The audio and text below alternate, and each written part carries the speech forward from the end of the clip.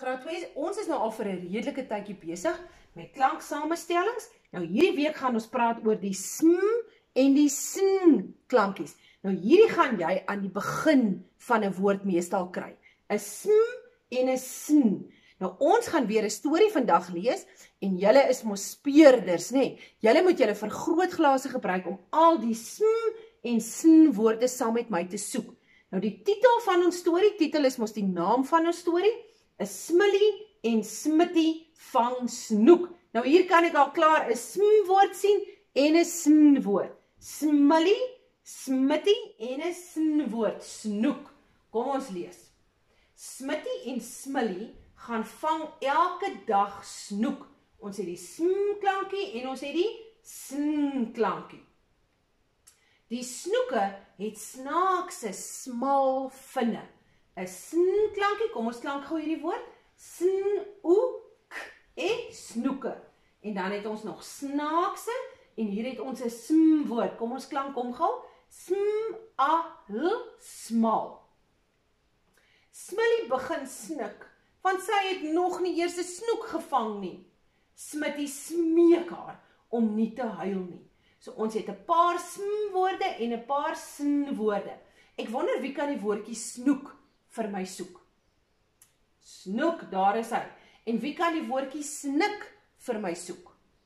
Snik, daar is hy. En wie kan vir my 'n sm woordjie sien? Soek gou 'n sm woordjie. Smeek of smitty of smillie. Goed. Smitty vryf sy snor en hy dink 'n bietjie. Dalk moet ek vir Smillie 'n snoekbroodjie maak om te eet. Hy vra: "Smillie, wil jy 'n snoekbroodjie hê?" Ja, dankie, sê Smillie. Hy het seker gedink Smillie gaan beter voel as hy ietsie eet. So ons het 'n paar sm woorde en ons het heelwat sn woorde. Snoekbroodjie, snoekbroodjie en hier's 'n nuwe een, snor. Waar kry mense snor? Ja, op 'n man se bolop, nê? Nee? Dis as jy jou hare hier op jou bolop laat groei, die mans dan kry hulle 'n snor. Smillie smil heerlik aan die snoektoebroodjie. Kan julle daai mooi beskrywende woord sien? Heerlik. Dit beteken sy was mal oor hierdie snoepbroodjie. Dit was vir haar baie lekker. En hier het ons 'n sm woordjie, smil en smil beteken ek eet sommer so lekker aan daai broodjie. En sn snoek toe broodjie. Smitty gaan smous met die snoeke wat oorgebly het. Hy verkoop al die snoeke. Nou ons het 'n nuwe sm woordjie, smous. En weet julle wat beteken dit om te smous? Ja, dis wanneer jy gaan en jou goed gaan verkoop. Nou baie keer sien julle daar op die straat, op hierdie tafels lê al hierdie blink lyf snoeke en dit is gewoonlik smouse wat daardie snoeke dan verkoop. Nou hier het ons weer 'n sin woordjie snoeke en weer snoeke en 'n smitty sm woordjie en smous.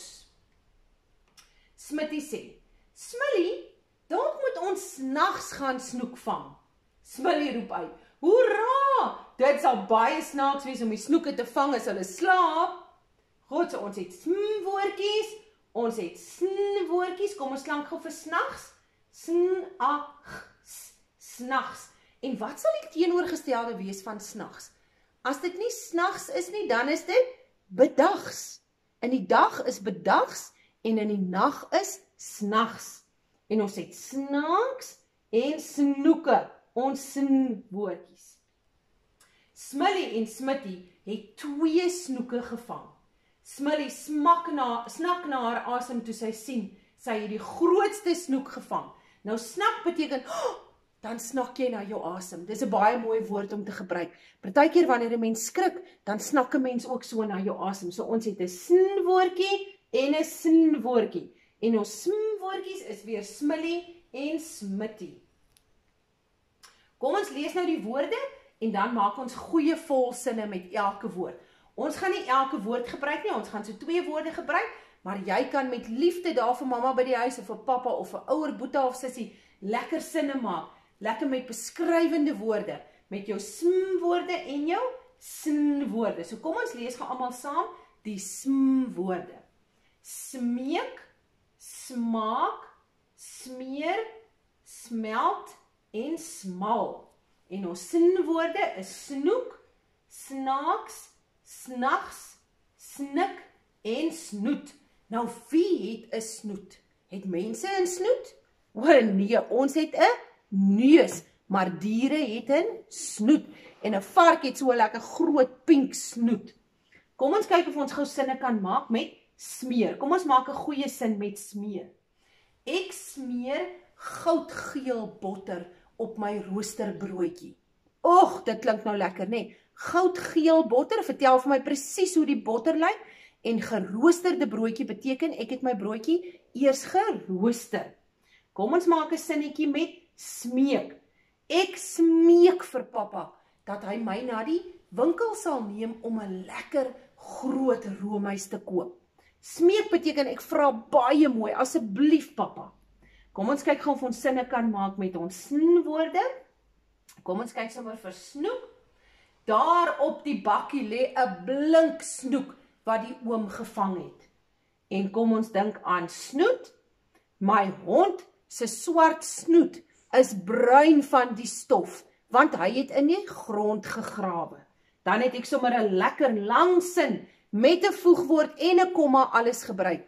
So graad 2 is onthou, ons kan nou al pragtige sinne maak, lekker lang uitgebreide sinne, want ons kan al baie beskrywende woorde gebruik en ons kan ook voegwoorde gebruik. Onthou net, sinne begin mos met 'n hoofletter en eindig met 'n punt. So kyk of jy mooi sinne kan maak met hierdie sm en sn woorde.